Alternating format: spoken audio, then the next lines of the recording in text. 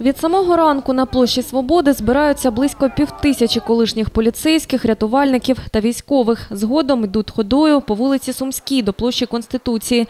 Мітингуючі розповідають, вийшли на акцію протесту з вимогою перерахувати пенсії. Запевняють, більшість втратили здоров'я під час несення служби, тому після виходу на пенсію потребують постійного лікування. У той час, як нинішніх виплат, які отримують від держави, ледь вистачає на найнеобхідніше. Сейчас, учитывая трехкратное повышение цен, пенсия ставит пенси- этих пенсионеров на грань выживания.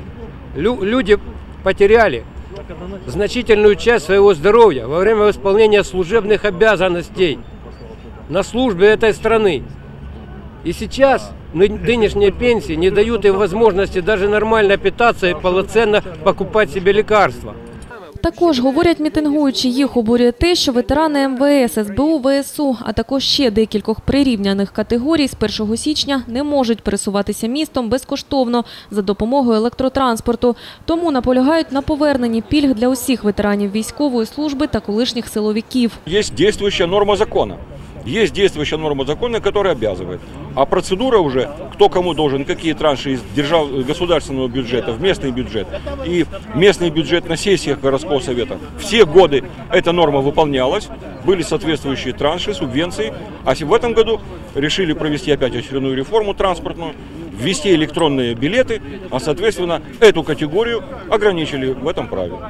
На акцію протесту колишні силовики та військові по всій Україні виходять вже не вперше. Раніше зверталися до президента України, Верховної Ради та у Кабмін.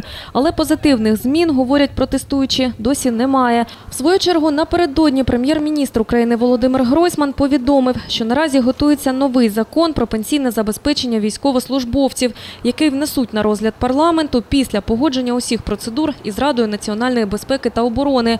Що стосується надання пільг ветеранам МВС, СБУ та інших прирівняних до них категорій, то це питання у Харківській мерії обіцяють розглянути на сесії міськради у лютому. На офіційному сайті міської ради повідомляють, що відповідний проєкт рішення наразі готується. Лариса Говина, Олег Мартинюк, агентство телевідення новості.